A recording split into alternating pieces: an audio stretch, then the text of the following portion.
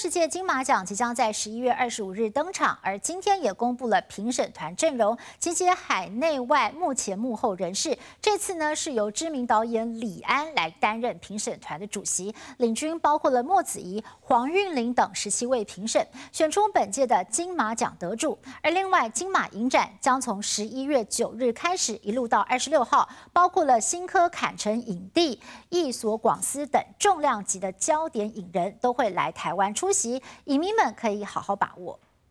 我想瞒你，我只希望我们两个人好好在一起。你到底在抗拒什么？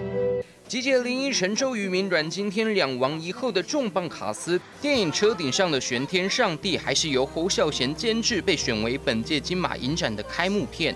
三位艺人同框出席宣传活动，粉丝直呼是颜值天花板。而其中阮经天更将角逐第二座金马讲座。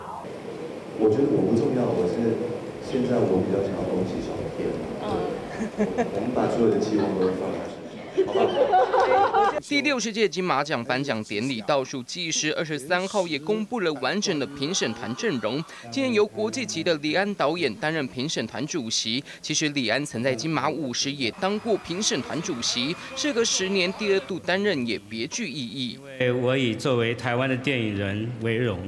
我以代表台湾为荣。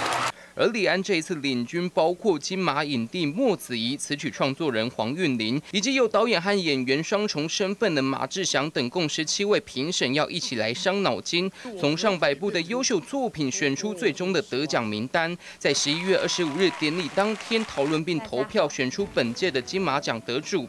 金马奖走过一甲子，不仅是华语电影界最具影响力与代表性的电影奖之一，更记录了珍贵台湾电影史的发展。